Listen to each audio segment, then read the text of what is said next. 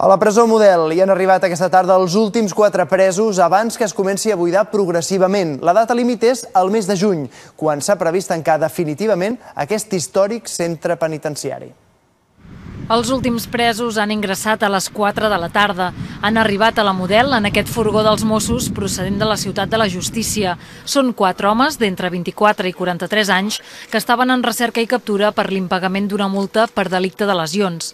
A partir de demà, tots els presos preventius de l'àrea de Barcelona s'enviaran a la presó de Brianzú, a Sant Esteve Sarrovires. Ara hem d'anar pagant els llums a una institució centenària que ha cobert de sobres la seva missió, que està més que amortitzada, que és anacrònica en el temps i en el nostre sistema penitenciari. Anirem disminuint del miler aproximat de presos que tenim avui a zero, mantinguent alguns serveis i disminuint els espais residencials. A partir d'ara, la model s'anirà buidant progressivament.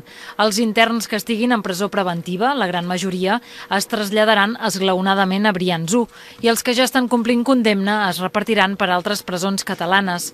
El mes de juny es tancaran definitivament 113 anys d'història.